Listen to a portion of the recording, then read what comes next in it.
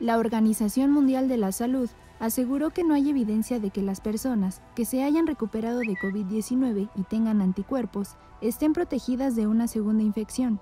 En un resumen científico, el organismo precisó que algunos gobiernos han sugerido que la detección de anticuerpos contra el coronavirus puede servir como base para un pasaporte de inmunidad o certificado libre de riesgos, que los identifique como protegidos de la reinfección, pero ningún estudio ha evaluado esto.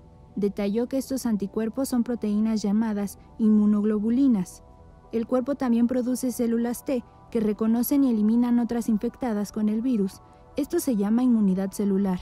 Esta respuesta adaptativa combinada puede eliminar la cepa del cuerpo y si la respuesta es lo suficientemente fuerte, puede prevenir la progresión a una enfermedad grave o a la reinfección por el mismo virus. Estudios muestran que las personas que se han recuperado de la infección tienen anticuerpos de la infección, sin embargo, algunas registran niveles muy bajos de anticuerpos neutralizantes en la sangre, lo que sugiere que la inmunidad celular también puede ser crítica para la recuperación.